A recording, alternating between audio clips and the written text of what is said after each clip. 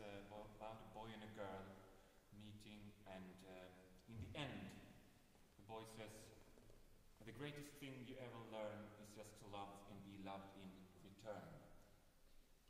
And um, to that, I want to do something very spontaneous. If you can give me a D and sustain.